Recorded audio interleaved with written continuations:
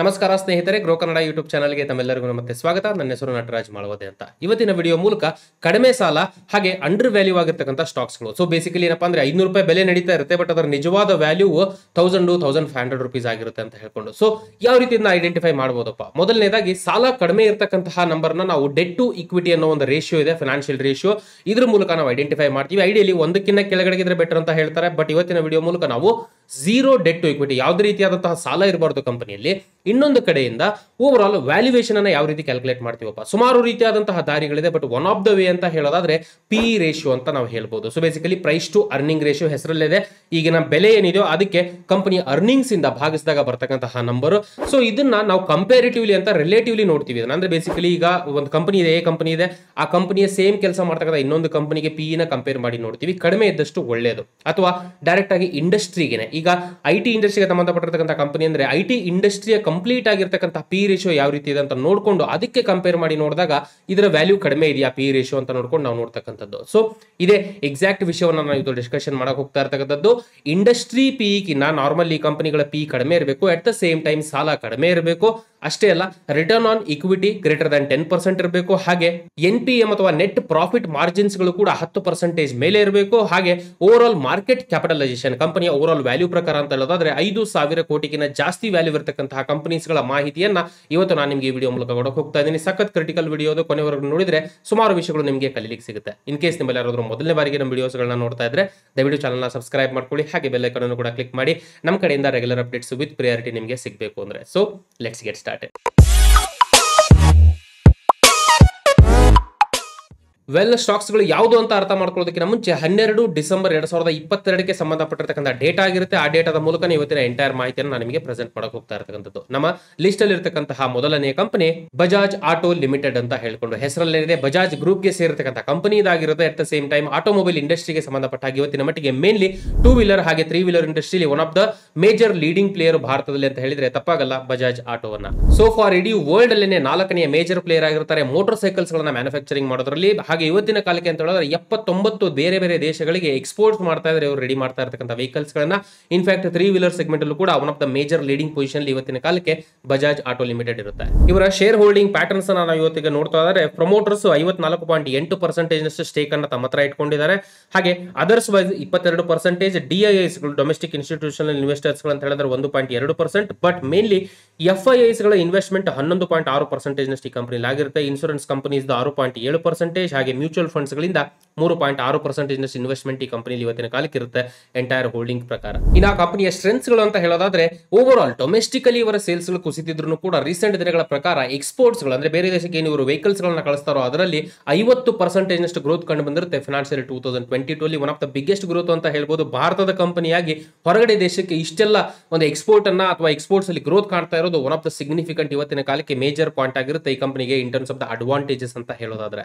ಹಾಗೆ three wheeler segment ಅಲ್ಲಿ no doubt Bajaj ಇವತ್ತಿನ ಕಾಲಕ್ಕೆ ಅರವತ್ತು ಪರ್ಸೆಂಟೇಜ್ ನಷ್ಟು ಮಾರ್ಕೆಟ್ ಶೇರ್ನ ತಂದಾಗಿಸ್ಕೊಂಡಿದೆ domestically one of the major leading position ಇರ್ತಕ್ಕಂಥದ್ದು ಕೂಡ ಇವರಿಗೆ ಫೇವರಬಲ್ ಪಾಯಿಂಟ್ ಆಗಿರುತ್ತೆ ಈ ಒಂದು ಪರ್ಟಿಕ್ಯುಲರ್ ಕೇಸ್ ಅಲ್ಲಿ ಅಂತ ಹೇಳೋದಾದ್ರೆ. ಇನ್ನು ವೀಕ್ನೆಸ್ಗಳ ಕಡೆ ಅಂತ ಹೇಳೋದಾದ್ರೆ ಡೆಫಿನೆಟ್ಲಿ ಕಂಪನಿ ಇವತ್ತಿನ ಮಟ್ಟಿಗೆ ಇರತಕ್ಕಂಥ ಹ್ಯೂಜ್ ಕಾಂಪಿಟೇಷನ್ ಮಾರ್ಕೆಟ್ ಅಲ್ಲಿ one of the biggest challenge ಆಗಿರುತ್ತೆ. ಅಷ್ಟೇ ಅಲ್ಲ, ಇವ್ರಿಗೆ ಬೇಕಾಗಿರ್ತಕ್ಕಂಥ raw materials definitely input cost ಇನ್ಫ್ಲೇಷನ್ಗೆ ಸಂಬಂಧಪಟ್ಟಿರತಕ್ಕಂಥದ್ದಾಗಿರುತ್ತೆ ಅಲ್ಲಾಗ್ತಾ ಇರತಕ್ಕಂಥ ಹಣದುಬ್ಬರದ ವ್ಯತ್ಯಾಸಗಳ ಪರಿಣಾಮ ಡೈರೆಕ್ಟ್ ಆಗಿ ಕಂಪನಿಯ ಪರ್ಫಾರ್ಮೆನ್ಸ್ ಮೇಲೆ ಬೀಳುತ್ತೆ. ಹಾಗೆ ಇನ್ನೊಂದು ಬಿಗ್ಗೆಸ್ಟ್ ಚಾಲೆಂಜ್ ಈ ಕಂಪನಿ ಮುಂದೆ ಇವತ್ತಿನ ಮಟ್ಟಿಗೆ ನಿಂತ್ಕೊಂಡಿರ್ತಕ್ಕಂಥದ್ದು ಇವಿಸ್ ಡಿಮ್ಯಾಂಡ್ ಏನಿದೆಯೋ ಇವತ್ತಿನ ಕಾಲಕ್ಕೆ ಎಲೆಕ್ಟ್ರಿಕಲ್ ವೆಹಿಕಲ್ಸ್ಗಳಲ್ಲಿ ಬರ್ತಾ ಇರತಕ್ಕಂಥ ಡಿಮ್ಯಾಂಡ್ ಎಸ್ಪೆಷಲಿ ಓವರ್ ಆಲ್ ಭಾರತದಲ್ಲಿ ಹಾಗೆ ಬೇರೆ ದೇಶಗಳಲ್ಲೂ ಕೂಡ ಇವತ್ತಿನ ಕಾಲಕ್ಕೆ ಇಂಪ್ರೂವ್ಮೆಂಟ್ ಕಾಣಿಸ್ತಾ ಇದೆ. ಟೂ ವೀಲರ್ ಸೆಗ್ಮೆಂಟ್ ಅಲ್ಲಿ ಇವಿಗೆ ಸಂಬಂಧಪಟ್ಟ ಹಾಗೆ ಆ ರೀತಿಯಲ್ಲಿ ಅಂತ ನೋಡೋದಾದ್ರೆ ಈಗ ಬರ್ತಾ ಇರತಕ್ಕಂಥ ಹ್ಯೂಜ್ ಡಿಮ್ಯಾಂಡ್ ಅನ್ನ ಕಂಪನಿ ಎನ್ಕ್ಯಾಶ್ ಆಗ್ಲಿಕ್ಕೆ ಅಥವಾ ಕಂಪನಿ ಅದನ್ನ ಉಪಯೋಗ ಪಡಿಸ್ಕೊಳ್ಳಿಕ್ಕೆ ಆಗ್ತಿಲ್ಲ ಅಂತ ನಾವು ಹೇಳ್ಬೋದು. ಇವತ್ತಿನ ಕಾಲಕ್ಕೆ ಬರೀ ಮೂರು ಪರ್ಸೆಂಟೇಜ್ ನಷ್ಟು ಮಾರ್ಕೆಟ್ ಶೇರ್ ಅನ್ನ ಇವಿ ಸೆಗ್ಮೆಂಟ್ ಅಲ್ಲಿ Bajaj auto ಹೊಂದಿರತಕ್ಕಂಥದ್ದು one of the biggest challenge ಆಗಿರುತ್ತೆ ಇವತ್ತಿನ ಕಂಡೀಷನ್ಗೆ. ನೀವು ನೋಡ್ತಾ ಇರಬಹುದು ಆಲ್ರೆಡಿ ಹೀರೋ ಎಲೆಕ್ಟ್ರಿಕ್ ಇಪ್ಪತ್ತೆಂಟು ಪರ್ಸೆಂಟೇಜ್ ನಷ್ಟು ಮಾರ್ಕೆಟ್ ಶೇರ್ ಅನ್ನು ತಂದಾಗಿಸ್ಕೊಂಡಿರುತ್ತೆ financial two thousand twenty two ಅಲ್ಲಿ ಉಕಿನಾವಾ ಇಪ್ಪತ್ತು ಪರ್ಸೆಂಟೇಜ್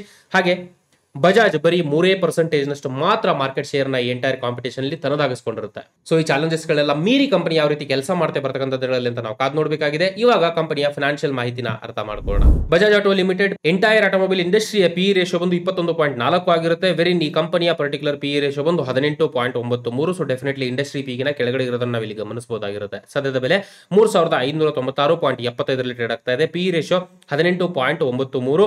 ಇಂಡಸ್ಟ್ರಿ ಪಿ ಇಪ್ಪತ್ತೊಂದು ಪಾಯಿಂಟ್ ನಾಲ್ಕು ಆಗಿರುತ್ತೆ. ಆಗಿರುತ್ತೆ. ಡೆಟ್ ಟು ಇಕ್ವಿಟಿ ಜೀರೋ ಯಾವುದೇ ರೀತಿಯ ಸಾಲ ಇಲ್ಲ. ಹಾಗೆ ಕಳೆದ ಐದು ವರ್ಷದ ಪ್ರಕಾರ ಅಂತ ಹೇಳೋದಾದ್ರೆ ಎಂಟು ಪಾಯಿಂಟ್ ಏಳು ಒಂಬತ್ತು ಪರ್ಸೆಂಟೇಜ್ನಷ್ಟು ಸೇಲ್ಸ್ ಅಲ್ಲಿ ಕಂಪನಿ ಗ್ರೋತ್ ಕಂಡಿರುತ್ತೆ. ರಿಟರ್ನ್ ಆನ್ ಇಕ್ವಿಟಿ ಹತ್ತೊಂಬತ್ತು ಪಾಯಿಂಟ್ ಜೀರೋ ಒಂದು ಪರ್ಸೆಂಟೇಜ್ ಹಾಗೆ ಕಳೆದ ಒಂದು ವರ್ಷದಲ್ಲಿ ಒಂಬತ್ತು ಪಾಯಿಂಟ್ ಒಂಬತ್ತು ನಾಲ್ಕು ಪರ್ಸೆಂಟೇಜ್ನಷ್ಟು ರಿಟರ್ನ್ ಕೊಟ್ಟಿದ್ರೆ ಕಳೆದ ಐದು ವರ್ಷದ ಪ್ರಕಾರ ಎರಡು ಪಾಯಿಂಟ್ ಆರು ಒಂದು ಪರ್ಸೆಂಟೇಜ್ನಷ್ಟು ಪಾಸಿಟಿವ್ ಕಂಪೌಂಡೆಡ್ ಗ್ರೋತ್ ಹೂಡಿಕೆದಾರರಿಗೆ ಈ ಕಂಪನಿ ತಂದುಕೊಟ್ಟಿರುತ್ತೆ. ಟೂ ಹಂಡ್ರೆಡ್ ಎಂ ಅವರೇಜ್ ಸದ್ಯಕ್ಕೆ ಮೂರು ಸಾವಿರದ ಏಳ್ನೂರ ಇಪ್ಪತ್ತರಲ್ಲಿ ಟ್ರೇಡ್ ಆಗ್ತಾ ಇರುತ್ತೆ.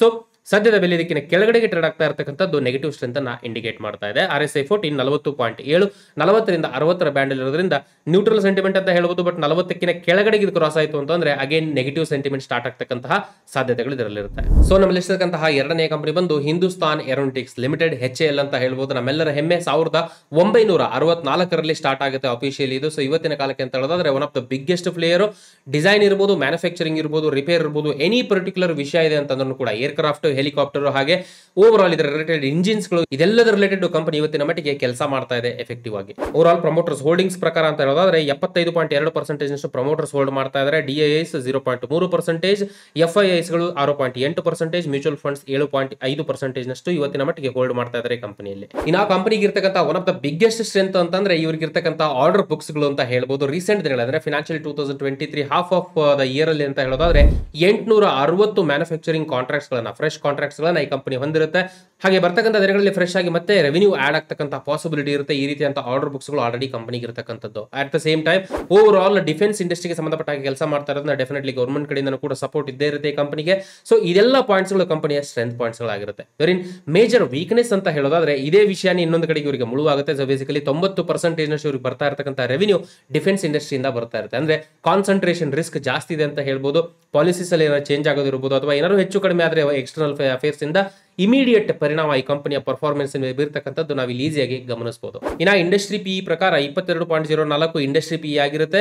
ಕಂಪನಿಯ ಪಿ ಹದಿನೈದು ಪಾಯಿಂಟ್ ಎಂಟು ನಾಲ್ಕು ಆಗೋದ್ರ ಮೂಲಕ ಅಂಡರ್ ವ್ಯಾಲ್ಯೂ ಆಗಿದೆ ಅಂತ ಹೇಳ್ಬೋದು ಪಿ ರೇಷಿಯೋ ಪ್ರಕಾರ. ಸದ್ಯದ ಬೆಲೆ ಎರಡು ಸಾವಿರದ ಏಳ್ನೂರ ಹದಿಮೂರು ಪಾಯಿಂಟ್ ನಾಲ್ಕರಲ್ಲಿ ಟ್ರೇಡ್ ಆಗ್ತಾ ಇರುತ್ತೆ. ಪಿ ರೇಷಿಯೋ ಹದಿನೈದು ಪಾಯಿಂಟ್ ಎಂಟು ನಾಲ್ಕು ಇಂಡಸ್ಟ್ರಿ ಪಿ ಇಪ್ಪತ್ತೆರಡು ಪಾಯಿಂಟ್ ಜೀರೋ ನಾಲ್ಕು ಡೆಟ್ ಟು ಇಕ್ವಿಟಿ ಜೀರೋ ಯಾವುದೇ ರೀತಿಯ ಸಾಲ ಇಲ್ಲ. ಹಾಗೆ ಕಳೆದ ಐದು ವರ್ಷದ ಪ್ರಕಾರ ಆರು ಪಾಯಿಂಟ್ ಐದು ಎರಡು ಪರ್ಸೆಂಟೇಜ್ನಷ್ಟು ಸೇಲ್ಸ್ ಅಲ್ಲಿ ಗ್ರೋತ್ ಕಂಡಿರುತ್ತೆ ಕಂಪನಿ ಇನ್ನ ರಿಟರ್ನ್ ಆನ್ ಇಕ್ವಿಟಿ ಇಪ್ಪತ್ತೊಂಬತ್ತು ಪಾಯಿಂಟ್ ಮೂರು ಏಳು ಪರ್ಸೆಂಟೇಜ್ ಆಗಿದ್ರೆ ಕಳೆದ ಒಂದು ವರ್ಷದಲ್ಲಿ ನೂರ ಹದಿಮೂರು ಪಾಯಿಂಟ್ ತೊಂಬತ್ತೆಂಟು ಪರ್ಸೆಂಟೇಜ್ನಷ್ಟು ಪಾಸಿಟಿವ್ ರಿಟರ್ನ್ ಅನ್ನು ಹೂಡಿಕೆದಾರಿಗೆ ಈ ಕಂಪನಿ ತಂದುಕೊಟ್ಟಿರುತ್ತೆ. ಹಾಗೆ ಕಳೆದ ಐದು ವರ್ಷದ ಪ್ರಕಾರ ಇಪ್ಪತ್ಮೂರು ಪಾಯಿಂಟ್ ನಾಲ್ಕು ನಾಲ್ಕು ಪರ್ಸೆಂಟೇಜ್ನಷ್ಟು ಪಾಸಿಟಿವ್ ರಿಟರ್ನ್ ಹೂಡಿಕೆದಾರರಿಗೆ ತಂದುಕೊಟ್ಟಿದ್ರೆ ಟೂ ಹಂಡ್ರೆಡ್ ಎಂ ಅವರೇ ಸದ್ಯಕ್ಕೆ ಎರಡು ಸಾವಿರದ ನೂರ ಎಂಟರಲ್ಲಿ ಟ್ರೇಡ್ ಆಗ್ತಾ ಇರುತ್ತೆ. ಆಬ್ವಿಯಸ್ಲಿ ಪ್ರೆಸೆಂಟ್ ಬೆಲೆ ಇದರ ಮೇಲೆ ಟ್ರೇಡ್ ಆಗ್ತಾ ಇರತಕ್ಕಂಥದ್ದು ಪಾಸಿಟಿವ್ ಅಂತ ನಾ ಇಂಡಿಕೇಟ್ ಮಾಡ್ತಾ ಇದೆ. ಆರ್ ಎಸ್ ಎ ಫೋರ್ಟೀನ್ ಐವತ್ತಾರು ಪಾಯಿಂಟ್ ಮೂರು, ನಲವತ್ತರಿಂದ ಅರವತ್ತರ ಬ್ಯಾಂಡ್ ಇರೋದ್ರಿಂದ ನ್ಯೂಟ್ರಲ್ ಅಂತ ಹೇಳಿದ್ರು ಕೂಡ ಅರವತ್ತನ್ನ ಇದು ಕ್ರಾಸ್ ಆಯಿತು ಅಂತಂದ್ರೆ ಪಾಸಿಟಿವ್ ಮೂಮೆಂಟಮ್ ಅಗೇನ್ ಸ್ಟಾರ್ಟ್ ಆಗ್ತಕ್ಕಂತಹ ಪಾಸಿಬಿಲಿಟೀಸ್ ಈ ಸ್ಟಾಕ್ ಅಲ್ಲಿ ಇರುತ್ತೆ. ವೆಲ್ ನಮ್ಮ ಇರ್ತಕ್ಕಂತಹ ಮೂರನೇ ಕಂಪನಿ ಬಂದು ಭಾರತ್ ಎಲೆಕ್ಟ್ರಾನಿಕ್ಸ್ ಲಿಮಿಟೆಡ್ ಬಿಇಎಲ್ ಅಂತ ಹೇಳ್ಬೋದು. ಸಾವಿರದ ಒಂಬೈನೂರ ಐವತ್ನಾಲ್ಕರಲ್ಲಿ ಎಸ್ಟಾಬ್ಲಿಷ್ ಆಗಿರತಕ್ಕಂತಹ ಈ ಕಂಪನಿ ಇವತ್ತಿನ ಮಟ್ಟಿಗೆ ಇಂಡಿಯನ್ ಡಿಫೆನ್ಸ್ ಇಂಡಸ್ಟ್ರಿಗೆ ಸಂಬಂಧಪಟ್ಟ ಹಾಗೆ ಎಲೆಕ್ಟ್ರಾನಿಕ್ಸ್ ಇಕ್ವಿಪ್ಮೆಂಟ್ಸ್ ಗಳನ್ನ ರೆಡಿ ಮಾಡ್ತಕ್ಕಂಥ ಕೆಲಸವನ್ನ ಇವತ್ತಿನ ಮಟ್ಟಿಗೆ ಕಂಪನಿ ಮಾಡ್ತಾ ಇದೆ. ಗೌರ್ಮೆಂಟ್ ಆಫ್ ಇಂಡಿಯಾ ಐವತ್ತೊಂದು ಪಾಯಿಂಟ್ ಒಂದು ನಾಲ್ಕು ಪರ್ಸೆಂಟೇಜ್ ನಷ್ಟು ಇಕ್ವಿಟಿ ಸ್ಟೇಕ್ ಅನ್ನ ಬಿಯಲ್ಲಿ ಹೊಂದಿರುತ್ತೆ. ಮಾರ್ಚ್ ಮೂವತ್ತೊಂದು, ಎರಡ್ ಸಾವಿರದ ಇಪ್ಪತ್ತೆರಡರಷ್ಟೊತ್ತಿಗೆ ಇದಷ್ಟೇ ಅಲ್ಲ ರೀಸೆಂಟ್ ದಿನಗಳ ಗವರ್ಮೆಂಟ್ ಮೂವ್ಮೆಂಟ್ ಏನಿತ್ತು ಆತ್ಮನಿರ್ಭರ್ ಅಂತಂದ್ರೆ ಬೇಸಿಕಲಿ ನಮ್ಮ ದೇಶದಲ್ಲಿ ಆಗ್ತಕ್ಕಂಥ ಟೆಕ್ನಾಲಜಿಗಳನ್ನ ನಾವೇ ಖುದ್ದಾಗಿ ರೆಡಿ ಮಾಡ್ತಕ್ಕಂಥ ವಿಷಯವಾಗಿ ನಾವು ಕೆಲಸ ಮಾಡ್ತಾ ಇದೀವಿ. ಇವತ್ತಿನ ಮಟ್ಟಿಗೆ ಆ ರೀತಿಯಂತ ಸಪೋರ್ಟ್ ಇವತ್ತಿನ ಮಟ್ಟಿಗೆ ಕಂಪನಿ ಇರುತ್ತೆ. ಹಾಗೆ ಎಪ್ಪತ್ತೆಂಟು ಪರ್ಸೆಂಟೇಜ್ ನಷ್ಟು ಈ ಕಂಪನಿಯ ರೆವಿನ್ಯೂ ಬರ್ತಕ್ಕಂಥ ದಿನಗಳಲ್ಲಿ ಇಂಡಿಜಿನಿಯಸ್ ಆಗಿರಬೇಕು. ಸೊ ಬೇಸಿಕಲಿ ಭಾರತದ ಟೆಕ್ನಾಲಜಿಯನ್ನೇ ಯೂಸ್ ಮಾಡಿಕೊಂಡು ರೆಡಿ ಮಾಡ್ತಕ್ಕಂಥ ಟೆಕ್ನಾಲಜಿಗಳು ಇವ್ರದ್ದು ಆಗಿರಬೇಕು ಅನ್ನೋ ಒಂದು ಟಾರ್ಗೆಟ್ ಕೂಡ ಇವರಿಗೆ ಡೆಫಿನೆಟ್ಲಿ ಇರುತ್ತೆ. ಇದು ಕೂಡ one of the considerable point ಆಗಿರುತ್ತೆ ಸದ್ಯದ ಮಟ್ಟಿಗೆ ಬಿ ಎಲ್ ಅಲ್ಲಿ. ಪ್ರಮೋಟರ್ ಬೇಸಿಕಲಿ ಗವರ್ಮೆಂಟ್ ಐವತ್ತೊಂದು ಪಾಯಿಂಟ್ ಒಂದು ಪರ್ಸೆಂಟೇಜ್ ನಷ್ಟು ಸ್ಟೇಕ್ ಅನ್ನ ಈ ಕಂಪನಿ ಹೋಲ್ಡ್ ಮಾಡ್ತಾ ಇದ್ರೆ ಅದರ್ಸ್ ಐದು ಪಾಯಿಂಟ್ ಒಂಬತ್ತು ಪರ್ಸೆಂಟೇಜ್ ಎಫ್ ಐ ಎಸ್ಗಳು ಹದಿನೇಳು ಪಾಯಿಂಟ್ ನಾಲ್ಕು ಪರ್ಸೆಂಟೇಜ್ ಇನ್ನ ಇನ್ಸೂರೆನ್ಸ್ ಕಂಪನೀಸ್ಗಳು ಮೂರು ಪಾಯಿಂಟ್ ಐದು ಪರ್ಸೆಂಟೇಜ್, ಮ್ಯೂಚುವಲ್ ಫಂಡ್ಸ್ಗಳು ಇಪ್ಪತ್ತೊಂದು ಪಾಯಿಂಟ್ ಎರಡು ಪರ್ಸೆಂಟೇಜ್ ನಷ್ಟು ಹೂಡಿಕೆಯನ್ನ ಈ ಕಂಪನಿಯ ಮೇಲೆ ಮಾಡಿರುತ್ತೆ ಇವತ್ತಿನ ಕಾಲಕ್ಕೆ. ವೆಲ್ ಇನ್ನ ಇವರ ಸ್ಟ್ರೆಂತ್ಸ್ಗಳು ಗಳು ವಾಯ್ದು ಅಂತ ಹೇಳೋದಾದ್ರೆ ಡೆಫಿನೆಟ್ಲಿ ಗೌರ್ಮೆಂಟ್ ಬ್ಯಾಕ್ ಬೋನ್ ಆಗಿರುತ್ತೆ. ಗೌರ್ಮೆಂಟ್ ಇಂದ ಜಾಸ್ತಿ ಒಂದು ಹೋಲ್ಡಿಂಗ್ಸ್ ಈ ಕಂಪನಿ ಇರೋದೇ one of the biggest advantage point ಅಂತ ಹೇಳಿದ್ರೆ. ತಪ್ಪಾಗಲ್ಲ ಆಬ್ವಿಯಸ್ಲಿ ಯಾವುದೇ ಒಂದು ಸಿಚುವೇಶನ್ ಇದ್ರೂ ಕೂಡ ಗೌರ್ಮೆಂಟ್ ಕಡೆಯಿಂದ ಸಪೋರ್ಟ್ ಈ ಕಂಪನಿ ಆಪರೇಷನ್ಸ್ ಗಳಿಗೆ ಯಾವತ್ತಿದ್ರೂ ಇದ್ದೇ ಇರುತ್ತೆ. ಇದು ಒಂದ್ ಕಡೆಗೆ. ಆದ್ರೆ ಇನ್ನೊಂದು ಕಡೆಯಿಂದ ಅಂತ ಹೇಳೋದಾದ್ರೆ ಅಂದ್ರೆ ವೀಕ್ನೆಸ್ ಕಡೆಗೆ ಎಂಬತ್ತು ಪರ್ಸೆಂಟೇಜ್ ನಷ್ಟು ಇವರ ಟರ್ನ್ ಓವರ್ ಏನಿದೆ ಇವತ್ತಿನ ಮಟ್ಟಿಗೆ ಆಗ್ತಾ ಇರತಕ್ಕಂಥದ್ದು ಇಂಡಿಯನ್ ಡಿಫೆನ್ಸ್ ಇಂಡಸ್ಟ್ರಿಯಿಂದ ಬರ್ತಾ ಇರುತ್ತೆ. ಆಬ್ವಿಯಸ್ಲಿ ನಾನು ಆಗಲೇ ಹೇಳಿರೋ ಹಾಗೆ ಕಾನ್ಸಂಟ್ರೇಷನ್ ರಿಸ್ಕ್ ಅಂತ ಹೇಳ್ತೀವಿ ನಾವು, ಜಾಸ್ತಿ ರಿಸ್ಕ್ ಇವ್ರಿಗೆ ಏನಾದರೂ ಒಂಚೂರು ಹೆಚ್ಚು ಕಡಿಮೆ ಆದರೂ ಕೂಡ ಎಕ್ಸ್ಟರ್ನಲ್ ಅಫೇರ್ಸ್ ಇಂದ ಅದರ ಇಮಿಡಿಯೇಟ್ ಪರಿಣಾಮ ಈ ಕಂಪನಿಯ ಪರ್ಫಾರ್ಮೆನ್ಸ್ ಮೇಲೆ ಬೀರುತ್ತೆ. ಇದಷ್ಟೇ ಅಲ್ಲ ಕಂಪನಿ ಜಾಸ್ತಿ ಡೆವಿಡೆನ್ಸ್ ಗಳನ್ನ ಕೊಡ್ತಾ ಇರುತ್ತೆ ರೆಗ್ಯುಲರ್ ಆಗಿ. ಸೊ ಬೇಸಿಕಲಿ ಯಾವಾಗೆಲ್ಲ ಕಂಪನಿಗಳು ಡೆವಿಡೆನ್ಸ್ ಗಳನ್ನ ಜಾಸ್ತಿ ಅನೌನ್ಸ್ ಮಾಡುತ್ತೋ, ಆ ರೀತಿಯಂತ ಸಂದರ್ಭದಲ್ಲಿ ಸ್ಟಾಕಿನ ಬೆಲೆ ಅಷ್ಟೊಂದು ಸಿಗ್ನಿಫಿಕೆಂಟ್ ಆಗಿ ಬೆಳೆದಿರ್ತಕ್ಕಂಥ ಪಾಸಿಬಿಲಿಟಿ ಇರುತ್ತೆ. ಬಟ್ ಆಸ್ ಅನ್ ಇನ್ವೆಸ್ಟರ್ ನಮಗೊಂದು ವಿನ್ ವಿನ್ ಸಿಚುವೇಶನ್ ಇದ್ದೇ ಇರುತ್ತೆ ಈ ರೀತಿಯಂತ ಕಂಪನೀಸ್ಗಳಲ್ಲಿ ಇದರ್ ಕಂಪನಿಯ ಸ್ಟಾಕ್ ಬೆಳಿಲ್ಲ ಅಂತಂದ್ರೂ ಕೂಡ ಅದರಿಂದ ಕನ್ಸಿಸ್ಟೆಂಟ್ ಡೆವಿಡೆನ್ಸ್ ಗಳನ್ನ ತಗೊಳ್ತಕ್ಕಂಥ ಪಾಸಿಬಿಲಿಟೀಸ್ ಇರುತ್ತೆ ಸೊ ಈಗ ಸದ್ಯದ ಮಟ್ಟಿಗೆ ಇರ್ತಕ್ಕಂತಹ one of the challenging point ಅಥವಾ ಕನ್ಸಿಡರೇಷನ್ ಪಾಯಿಂಟ್ ಅಂತ ಹೇಳ್ಬೋದು in terms of the risk ಬರ್ತಕ್ಕಂಥ ದಿನಗಳಲ್ಲಿ ಅಂತ ಹೇಳೋದಾದ್ರೆ. ಸೊ ಇದೆಲ್ಲ ಕಂಪನಿಗೆ ಇರ್ತಕ್ಕಂಥ ಮೇಜರ್ ಚಾಲೆಂಜಿಂಗ್ ಪಾಯಿಂಟ್ ಅಂತ ಹೇಳ್ಬೋದು. ಇದನ್ನೆಲ್ಲ ಮೀರಿ ಕಂಪನಿ ಯಾವ ರೀತಿ ಕೆಲಸ ಮಾಡ್ತಾ ಬರ್ತಕ್ಕಂಥ ದಿನಗಳಲ್ಲಿ ಅಂತ ನಾವು ಕಾದ್ ನೋಡಬೇಕಾಗಿದೆ. ಇವಾಗ ಕಂಪನಿಯ ಓವರ್ ಆಲ್ ಫಿನಾನ್ಷಿಯಲ್ ಮಾಹಿತಿ ಹಾಗೆ ಪಿ ರೇಷಿಯೋ ಮಾಹಿತಿಯನ್ನು ಅರ್ಥ ಮಾಡ್ಕೊಳ್ಳೋಣ. ಇಂಡಸ್ಟ್ರಿ ಪಿ ನಲವತ್ತು ಪಾಯಿಂಟ್ ಒಂದು ಒಂದು ಆಗಿರುತ್ತೆ. ಈ ಕಂಪನಿಯ ಪಿ ಬಂದು ಇಪ್ಪತ್ತೆಂಟು ಪಾಯಿಂಟ್ ಮೂರು ಎರಡು ಆಗಿರುತ್ತೆ. ಸೊ ಆಬ್ವಿಯಸ್ಲಿ ಕಡಿಮೆ ಇದೆ industry ಪಿಗಿನ at the same time current market price ಮೇಲೆ ನೂರ ನಾಲ್ಕು ಪಾಯಿಂಟ್ ಐದು ಐದು ಟ್ರೇಡ್ ಆಗ್ತಾ ಇದ್ರೆ ಪಿ ರೇಷಿಯೋ ಇಪ್ಪತ್ತೆಂಟು ಪಾಯಿಂಟ್ ಮೂರು ಎರಡು ಇಂಡಸ್ಟ್ರಿ ಪಿ ನಲವತ್ತು ಪಾಯಿಂಟ್ ಒಂದು ಒಂದು ಡೆಟ್ ಟು ಇಕ್ವಿಟಿ ಝೀರೋ ಯಾವುದೇ ರೀತಿಯ ಸಾಲ ಇಲ್ಲ ಕಂಪನಿಯಲ್ಲಿ. ಕಳೆದ ಐದು ವರ್ಷದ ಪ್ರಕಾರ ಅಂತ ಹೇಳೋದಾದ್ರೆ, ಹನ್ನೆರಡು ಪರ್ಸೆಂಟೇಜ್ನಷ್ಟು ಓವರ್ ಆಲ್ ಗ್ರೋತ್ ಅನ್ನ ಕಂಡಿರುತ್ತೆ ಕಂಪೌಂಡೆಡ್ ಆಗಿ ಸೇಲ್ಸ್ ಅಲ್ಲಿ. ರಿಟರ್ನ್ ಆನ್ ಇಕ್ವಿಟಿ ಇಪ್ಪತ್ತು ಪಾಯಿಂಟ್ ಐದು ಒಂದು ಪರ್ಸೆಂಟೇಜ್ ಬಟ್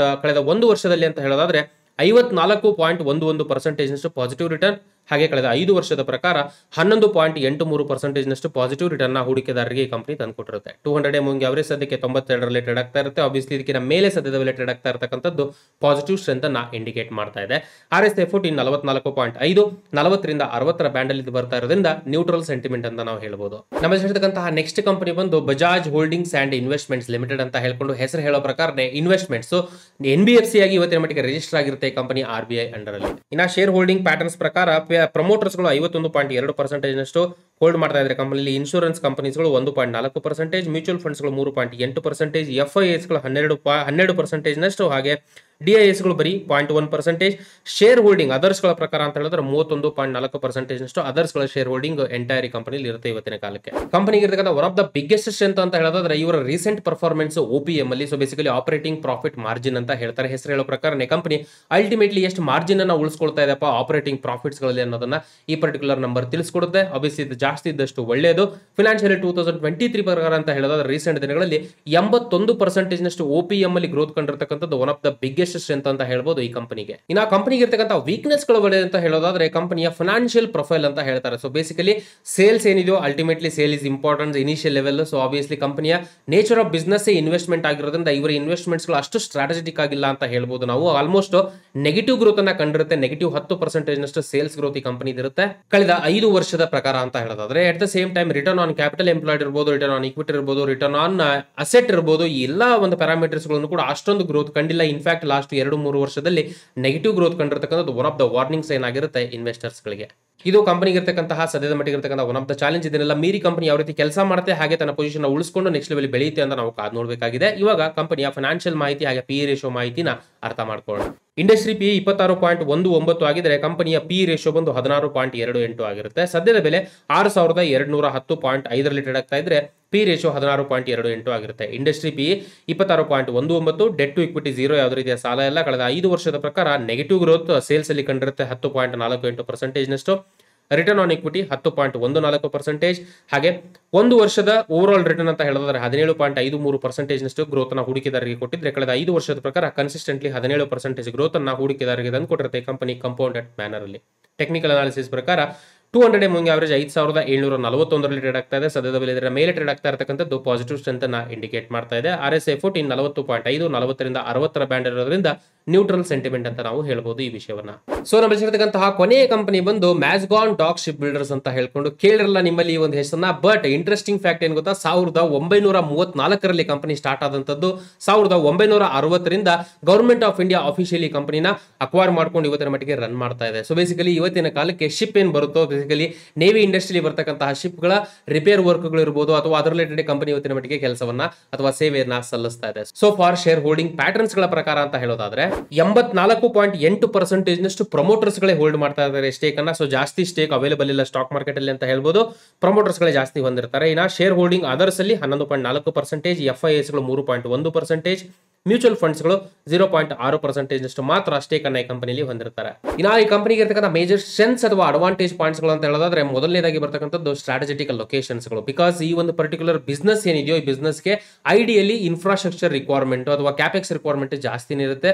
ಹೊಸದಾಗಿ ಯಾವುದೋ ಒಂದು ಕಂಪನಿ ಬಂತು ಕಾಂಪಿಟೇಷನ್ ಕೊಡಬೇಕು ಅಂತಂದ್ರೆ ಅಷ್ಟು ಈಸಿ ಕೆಲಸ ಆಗಿರಲ್ಲ. ಸೊ ಆಬ್ವಿಯಸ್ಲಿ ಆ ಒಂದು ವಿಷಯ ಅಂತ ಹೇಳಿದ್ರೆ ಕಂಪನಿ ಆಲ್ರೆಡಿ ತನ್ನ ವೆಲ್ ಬಿಲ್ಟ್ ಇನ್ಫ್ರಾಸ್ಟ್ರಕ್ಚರ್ಸ್ ಗಳನ್ನ ವೆಲ್ ಲೊಕೇಶನ್ಸ್ಗಳಲ್ಲಿ already ಹೊಂದಿರೋದು one of the biggest advantage point ಆಗಿರುತ್ತೆ. ಇನ್ನೊಂದು ಕಡೆಯಿಂದ ಮೇಜರ್ ಒಂದು ಸಪೋರ್ಟ್ ಅಂತ ಹೇಳಿದ್ರೆ ಗೌರ್ಮೆಂಟ್ ಕಡೆಯಿಂದ ಆಬ್ವಿಯಸ್ಲಿ ಇದ್ದೇ ಇರುತ್ತೆ ಬಿಕಾಸ್ ಎಂಬತ್ನಾಲ್ಕು ಪರ್ಸೆಂಟೇಜ್ನಷ್ಟು ಸ್ಟೇಕ್ ಅನ್ನ ಈ ಕಂಪನಿಯಲ್ಲಿ ಗೌರ್ಮೆಂಟ್ ಆಫ್ ಇಂಡಿಯಾ ಇವತ್ತಿನ ಮಟ್ಟಿಗೆ ಹೊಂದಿರುತ್ತೆ. ಇದೆಲ್ಲ ಪಾಸಿಟಿವ್ ಪಾಯಿಂಟ್ಸ್ಗಳಾದ್ರೆ ಅಥವಾ ಅಡ್ವಾಂಟೇಜ್ಗಳಾದ್ರೆ ಇನ್ನೊಂದು ಕಡೆಯಿಂದ ವೀಕ್ನೆಸ್ ಅಂತ ಹೇಳೋದಾದ್ರೆ ಈ ಬಿಸ್ನೆಸ್ ಸೈಕ್ಲಿಕಲ್ ನೇಚರ್ ಅಂತ ಹೇಳ್ಬೋದು. ಐಡಿಯಲಿ ಈ ಒಂದು ಶಿಪ್ ರಿಲೇಟೆಡ್ ಅಂತಂದ್ರೆ ಶಿಪ್ ಓಡಾಡ್ತಾ ಇದ್ರೆ ಮಾತ್ರ ಅವ್ರಿಗೆ ರಿಪೇರ್ ಬಿಸ್ನೆಸ್ ಬರುತ್ತೆ. ಇಲ್ಲ ಅಂತಂದ್ರೆ ಆಬ್ವಿಯಸ್ಲಿ ಆ ಬಿಸ್ನೆಸ್ ಅಲ್ಲಿ ಅಷ್ಟೊಂದು ಗ್ರೋತ್ ಇರಲ್ಲ. ಈ ಒಂದು ವಿಷಯ ಎಕನಾಮಿಕಲ್ ಸ್ಲೋ ಡೌನ್ಸ್ಗಳಿಗೆ ಅಥವಾ ಎಕನಾಮಿಕಲ್ ಆಕ್ಟಿವಿಟೀಸ್ಗೆ ಬಹಳ ಡೈರೆಕ್ಟ್ ಲಿಂಕ್ ಅನ್ನ ಹೊಂದಿರುತ್ತೆ. ಯಾವಾಗೆಲ್ಲ ಒಂದು ದೇಶ ಅಥವಾ ಬೇರೆ ದೇಶಗಳಿರಲಿ ಹೊರಗಡೆ ದೇಶಗಳಲ್ಲಿ ಎಕನಾಮಿಕ್ಸ್ ಲೋಡೌನ್ಸ್ಗಳಾದ್ರೂ ಡೌನ್ಸ್ಗಳಾದ್ರೂ ಕೂಡ ಅದರ ಡೈರೆಕ್ಟ್ ಪರಿಣಾಮ ಈ ಕಂಪನಿಯ ಪರ್ಫಾರ್ಮೆನ್ಸ್ ಮೇಲೆ ಬೀಳ್ತಕ್ಕಂಥದ್ದು one of the biggest challenge ಆಗಿರುತ್ತೆ ಈ ಕಂಪನಿಗೆ ಅದನ್ನೆಲ್ಲ ಮೀರಿ ಕಂಪನಿ ಯಾವ ರೀತಿ ಕೆಲಸ ಮಾಡುತ್ತೆ ಅಂತ ಬರ್ತಕ್ಕಂಥದ್ರಲ್ಲಿ ನಾವು ಕಾದು ನೋಡಬೇಕಾಗಿದೆ. ಇವಾಗ ಓವರ್ ಆಲ್ ಇಂಡಸ್ಟ್ರಿಯ ಪಿ ಪ್ರಕಾರ ಯಾವ ರೀತಿ ಈ ಒಂದು ಕಂಪನಿ ಇವತ್ತಿನ ಮಟ್ಟಿಗೆ ನಿಂತ್ಕೊಂಡಿದೆ at the same time financial ಮಾಹಿತಿನ ಅರ್ಥ ಮಾಡ್ಕೊಳ್ಳೋಣ. ಇಂಡಸ್ಟ್ರಿ ಪಿ ನಲವತ್ತೆರಡು ಪಾಯಿಂಟ್ ಐದು ಏಳು ಆಗಿದ್ರೆ ಕಂಪನಿಯ ಪಿ ಬಂದು ಇಪ್ಪತ್ಮೂರು ಪಾಯಿಂಟ್ ಆರು ಮೂರು ಆಗೋದ್ರ ಮೂಲಕ ಅಂಡರ್ ವ್ಯಾಲ್ಯೂ ಆಗಿರುತ್ತೆ. ಪಿ ರೇಷಿಯೋ ಪ್ರಕಾರ ಸದ್ಯದ ಬೆಲೆ ಎಂಟುನೂರ ಎಂಬತ್ಮೂರು ಪಾಯಿಂಟ್ ಎರಡರಲ್ಲಿ ಟ್ರೇಡ್ ಆಗ್ತಾ ಇರುತ್ತೆ. ಪಿ ರೇಷಿಯೋ ಇಪ್ಪತ್ಮೂರು ಪಾಯಿಂಟ್ ಆರು ಮೂರು ಇಂಡಸ್ಟ್ರಿ ಪಿ ನಲವತ್ತೆರಡು ಪಾಯಿಂಟ್ ಐದು ಏಳು ಆಗಿದ್ರೆ ಡೆಟ್ ಟು ಇಕ್ವಿಟಿ ಜೀರೋ ಯಾವುದೇ ರೀತಿಯ ಸಾಲ ಇಲ್ಲ. ಕಳೆದ ಐದು ವರ್ಷದಲ್ಲಿ ಹತ್ತು ಪಾಯಿಂಟ್ ಒಂದು ಒಂಬತ್ತು ಪರ್ಸೆಂಟೇಜ್ನಷ್ಟು ಪಾಸಿಟಿವ್ ಗ್ರೋತ್ ಅನ್ನ ಸೇಲ್ಸ್ ಅಲ್ಲಿ ಕಂಪನಿ ಕಂಡಿರುತ್ತೆ. ರಿಟರ್ನ್ ಆನ್ ಇಕ್ವಿಟಿ ಹತ್ತೊಂಬತ್ತು ಪಾಯಿಂಟ್ ಒಂದು ಪರ್ಸೆಂಟೇಜ್ ಹಾಗೆ ಕಳೆದ ಒಂದು ವರ್ಷದಲ್ಲಿ ಇನ್ನೂರ ನಲವತ್ಮೂರು ಪರ್ಸೆಂಟೇಜ್ನಷ್ಟು ಪಾಸಿಟಿವ್ ರಿಟರ್ನ್ ಹೂಡಿಕೆದಾರರಿಗೆ ಈ ಕಂಪನಿ ತಂದುಕೊಟ್ಟಿರುತ್ತೆ. ಹಾಗೆ ಟೂ ಹಂಡ್ರೆಡ್ ಮೂವಿಂಗ್ ಅವರೇಜ್ ನಾನೂರ ಎಂಬತ್ತು ಪಾಯಿಂಟ್ ಏಳು ಒಂಬತ್ತು. ಡೆಫಿನೆಟ್ಲಿ ಇದ್ರ ಪ್ರಕಾರ ಟೂ ಹಂಡ್ರೆಡ್ ಮೂವಿಂಗ್ ಅವರೇಜ್ ಮೇಲೆ ಟ್ರೇಡ್ ಆಗ್ತಾ ಇರತಕ್ಕಂಥದ್ದು ಪಾಸಿಟಿವ್ ಸ್ಟ್ರೆಂತ್ ಇಂಡಿಕೇಟ್ ಮಾಡ್ತಾ ಇದೆ. ಆರ್ ಎಸ್ ಐ ಫೋರ್ಟೀನ್ ಐವತ್ತೊಂಬತ್ತು ಪಾಯಿಂಟ್ ಮೂರು. ಸೊ ಆಬ್ವಿಯಸ್ಲಿ ಆಲ್ಮೋಸ್ಟ್ ಅರವತ್ತರ ಹತ್ತತ್ರ ಇದೆ. ಸದ್ಯಕ್ಕೆ ನ್ಯೂಟ್ರಲ್ ಅಂತ ಹೇಳಿದ್ರು ಕೂಡ ಅರವತ್ತನ ಕ್ರಾಸ್ ಆಯ್ತು ಅಂತಂದ್ರೆ ಪಾಸಿಟಿವ್ಸ್ ಅಂತಾನೆ ಇಂಡಿಕೇಟ್ ಮಾಡುತ್ತೆ ಆರ್ ಎಸ್ ಐ ಫೋರ್ಟೀನ್ ಕೂಡ. ಸ್ನೇಹಿತರೆ, ಇದೆ ಐದು ಕಂಪನೀಸ್ಗಳಾಗಿತ್ತು ಸಾಲ ಕಡಿಮೆ ಅಂಡರ್ ವ್ಯಾಲ್ಯೂ ಆಗಿರ್ತಕ್ಕಂತಹ ಸ್ಟಾಕ್ಸ್ಗಳು ಸೊ ಐ ಹೋಪ್ ನಾನು ಅಲ್ಲಿವರೆಗೂ ಕೊಟ್ಟಿರತಕ್ಕಂಥ ಮಾಹಿತಿ ನಿಮ್ಗೆ ಇಷ್ಟ ಆಗಿದೆ ಅಂತ ಅನ್ಕೊಳ್ತೀನಿ. ಇವತ್ತಿನ ವಿಡಿಯೋದಲ್ಲಿ ನೀವು ಏನು ಕಲ್ತ್ರಿ? ಹಾಗೆ ಏನಾದ್ರು ಸಜೆಷನ್ಸ್ಗಳಿದ್ರೆ ದಯವಿಟ್ಟು ಹೆಸಿಟೇಟ್ ಮಾಡದೆ ಕಮೆಂಟ್ ಮೂಲಕ ತಿಳಿಸಿ. ನಿಮ್ಮ ಕಮೆಂಟ್ಸ್ಗಳು ಅಬ್ಸಲ್ಯೂಟ್ಲಿ ಇಂಪಾರ್ಟೆಂಟ್ ಆಗಿರುತ್ತೆ ನಮಗೆ. ನಮ್ಮ ಕಡೆಯಿಂದ ಸುಮಾರು ಎಫರ್ಟ್ ಅನ್ನು ಹಾಕ್ತಾ ಇದೀವಿ. ಈ ರೀತಿಯಂತ ಎಫೆಕ್ಟಿವ್ ಮಾಹಿತಿಗಳನ್ನ ನಿಮ್ಮವರೆಗೂ ಕನ್ನಡದಲ್ಲಿ ತಲುಪಿಸಲಿಕ್ಕೆ ನಮಗೆ ಸಪೋರ್ಟ್ ಮಾಡಬೇಕು ಅಂತಂದ್ರೆ ಇನ್ ಕೇಸ್ ನಿಮ್ಮೆಲ್ಲರೂ ಹೊಸಬರಾಗಿದ್ದು ಚಾನಲ್ನ ಸಬ್ಸ್ಕ್ರೈಬ್ ಮಾಡ್ಕೊಂಡಿಲ್ಲ ಅಂತಂದ್ರೆ, ದಯವಿಟ್ಟು ಚಾನಲ್ನ ಸಬ್ಸ್ಕ್ರೈಬ್ ಮಾಡ್ಕೊಳ್ಳಿ. ಹಾಗೆ ಬೆಲ್ಲೈಕನ್ ಕೂಡ ಕ್ಲಿಕ್ ಮಾಡಿ. ನಮ್ಮ ಕಡೆಯಿಂದ ರೆಗ್ಯುಲರ್ ಅಪ್ಡೇಟ್ಸ್ ವಿತ್ ಪ್ರಿಯಾರಿಟಿ ನಿಮಗೆ ಸಿಗಬೇಕು ಅಂತ ಅಂದ್ರೆ ನಾನು ಇಲ್ಲಿವರೆಗೂ ಕೊಟ್ಟಿರ್ತಕ್ಕಂಥ ಮಾಹಿತಿ ಎಜುಕೇಶನಲ್ ಪರ್ಪಸ್ಗೆ ಮಾತ್ರ. ಯಾವುದೇ ರೀತಿಯ ಬೈಸಲ್ ರೆಕಮೆಂಡೇಶನ್ಸ್ ಅಲ್ಲ ಯಾವುದೇ ಹೂಡಿಕೆಯನ್ನ ಮಾಡೋದಕ್ಕಿಂತ ಮುಂಚೆ ಪ್ರಾಪರ್ ಆಗಿ ಅನಲೈಸ್ ಮಾಡಿ ಡಿಸಿಷನ್ಸ್ಗಳನ್ನ ತಗೊಳ್ತಕ್ಕದ್ದು because stock market investments are subject to market risk ಇಷ್ಟು ಹೇಳ್ತಾ. ಈ ವಿಡಿಯೋನ ಇಲ್ಲಿಗೆ ಮುಗಿಸ್ತಾ ಇದ್ದೀನಿ. ಮತ್ತೆ ನಿಮಗೆ ನೆಕ್ಸ್ಟ್ ವಿಡಿಯೋದಲ್ಲಿ ಸಿಗ್ತೀನಿ. ಅಲ್ಲಿವರೆಗೂ ಜೈ ಹಿಂದ್.